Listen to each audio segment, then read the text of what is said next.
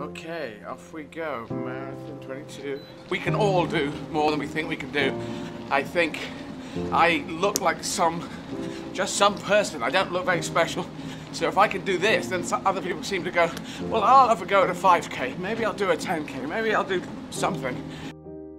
I, now, I noticed in your conversation the other day with John Bishop when he was on a bike, and obviously I was going to be on some sort of uh, excessive uh, muscle moving machinery, but then you said that you, you prefer to see calm backgrounds. Exactly, exactly. This is it. I am knackered of English. Uh, okay. Uh, ich habe, ich habe das Wort ver vergessen. Ein Moment bitte, ein Moment. Knackered.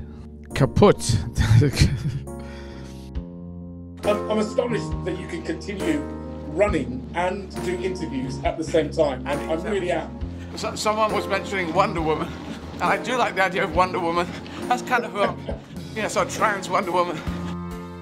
It's an amazing thing you're doing. Hopefully, lots of Palace fans will donate. EddieIzzard.com is very easy, um, and we're really proud of you, Eddie. So proud of you. Keep going. You're starting with the premise where you're believing in humanity. I mean, that's you know, if you want to make humanity great again, you've got to put every ounce of belief into humanity. I, I know you know this because this is your journey, but there are young people who get told a story about themselves that's wrong and broken from hearts that need conversion.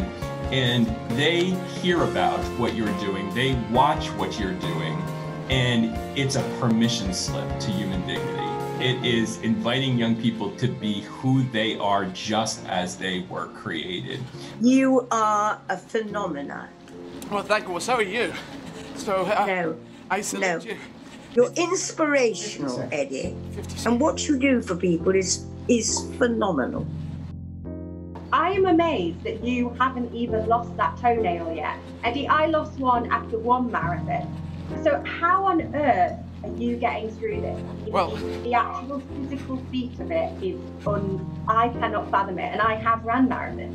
Fantastic, Eddie. Congratulations. Congratulations on your 28th marathon and good luck with everything. Brilliant, brilliant charities you're supporting there. So, anyone who's listening, please, please donate.